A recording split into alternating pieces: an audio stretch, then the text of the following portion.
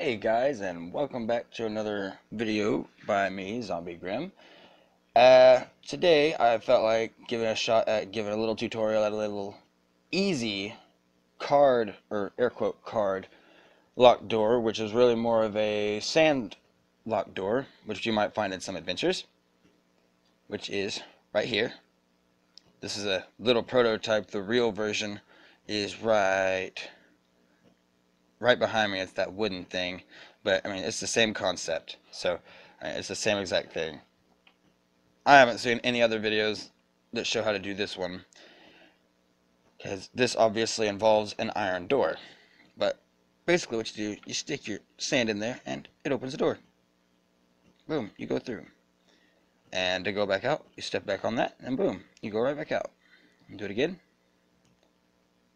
Open closed, open, closed.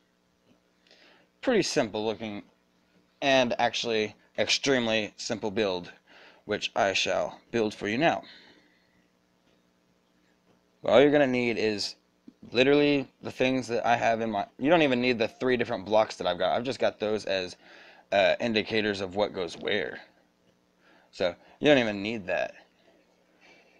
Really all you need is just a block of your choice but I prefer to do at least two different blocks so that way you can tell exactly where the hole is. But if you're wanting it hidden more so you know I think that'll be enough. So do this this this this. Put an iron door there. And what you're gonna want to do? Is cut out a hole there a hole there. Cut out one underneath it. Place a repeater underneath it. Click it twice or three times if you want the delay longer. Stick another one there, click it twice or three times. Just make sure you don't have it on just one, otherwise it's going to be too fast and it might shut before you get a chance to get in. I had that happen when I first tried building this. Put a redstone there, put a couple more repeaters in, click them both over, stick yourself a wooden pressure plate right there,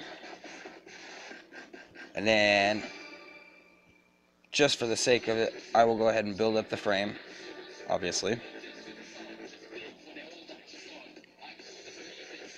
You're going to want to leave a gap there so that way you can enter your stone, or your sand, or e gravel even works on this too, so you can use gravel too. Mm, mm, mm. Just close that up. Okay. And then I want to put one there. And I'll stick a redstone there. You don't have to do a different colored one. It does not matter. A stone of your choice works just fine. Or a block of your choice, rather. Just close all this up so that way it looks more professional. Okay.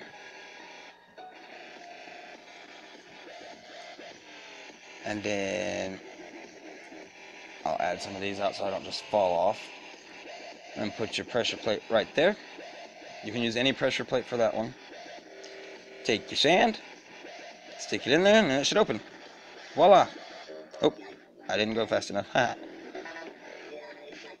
Obviously, for a longer delay, you would want more repeaters and set the delay longer, but that is the simple sand or gravel lock. And if you want to make it more hidden, you know, you don't even have to have that there. You can have Oops. Fail on my part. Oop. That way it's a little bit more discreet, so that way it's not so standing out. And you can do all kinds of things with it, but this is just the simplest, easiest design that I've come up with so far. So hopefully, hopefully y'all can use this on something. If not, whatever, I'll use it. but for other builds, this is my creative builds area and experimental builds. So there will be more videos coming soon. Just this is the simplest one and shortest one I could think of that would not be hard for me to explain. and thank you for watching. As always, like and subscribe. And hopefully you enjoyed the video.